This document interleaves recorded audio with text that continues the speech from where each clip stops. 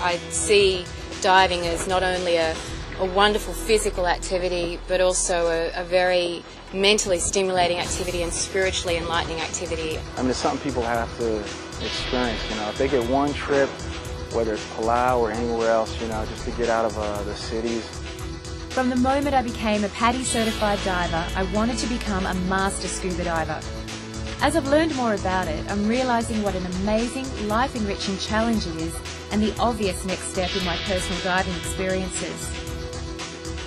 It's such a pleasure teaching PADI specialty courses, particularly to someone as enthusiastic as Fiona. She really embraces the diving lifestyle and understands and looks forward to what becoming a master scuba diver can do for her, spiritually, physically, and intellectually.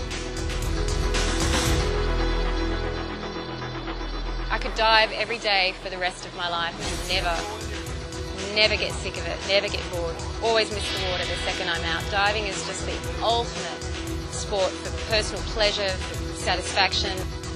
I just think that it's, there's nothing else that I can think that you can do recreationally that is just so fulfilling.